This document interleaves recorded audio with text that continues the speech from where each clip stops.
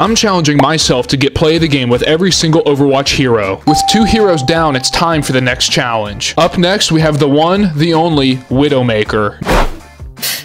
Americans. Now, out of all the DPS characters, I thought that this one was going to take the longest to actually get play of the game with. Mainly because I have the same aim as Stevie Wonder. But that's besides the point. Surprisingly enough, it only took me one single game to get play the game with Widowmaker.